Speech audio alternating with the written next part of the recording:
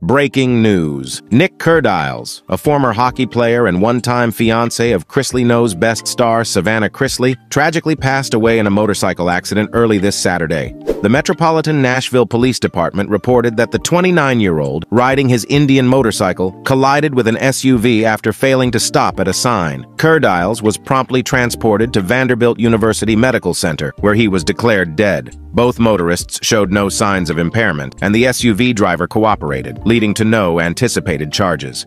Just hours before the incident, Kerdiles had posted an Instagram story featuring someone in a helmet on an Indian motorcycle, captioned Night Rider. Drafted by the Anaheim Ducks in 2012, Kerdiles received a tribute from his former team, commemorating his contributions to the National Hockey League.